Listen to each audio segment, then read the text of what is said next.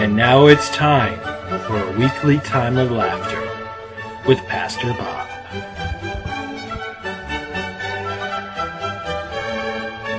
Our weekly time of laughter. How do I look, John? Do I look good? Yes, All right, thank you. that's why I'm this close. Get it focused real good. Let me ask you, does that camera make me look 10 pounds lighter? yeah, it does. Thank you, John. I want you to work on it though, and see if you can do like 20 pounds. All right? I need a better camera for that. Some cameras don't work miracles, is what you're saying, right,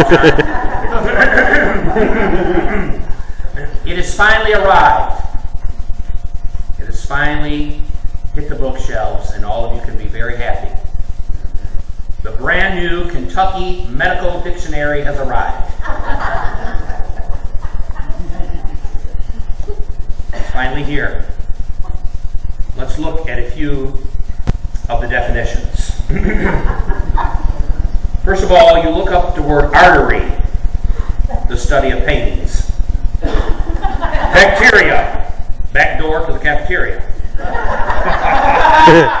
Barium, what doctors do when patients die. Get rid of that kid. Benign, what you after you ate. the Caesarean section, a neighborhood in Rome. CAT scan, searching for kitty. Cauterize, made eye contact with her. Colic, a sheepdog. Coma, a punctuation mark. Dilate, to live long. Enema, not a friend.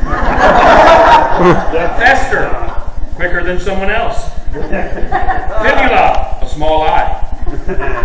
Labor pain, getting hurt at work. Medical staff, a doctor's cane.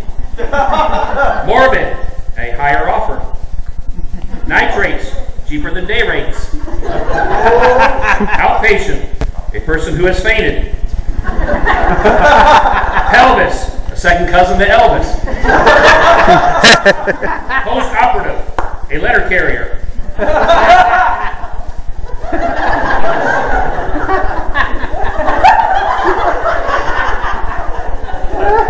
Recovery room, place to do upholstery. Secretion, hiding something. Seizure, Roman emperor. Tablet, a small table. Terminal illness, getting sick at the airport. Tumor, one plus one more. You're in, opposite of you're out. Let's all stand.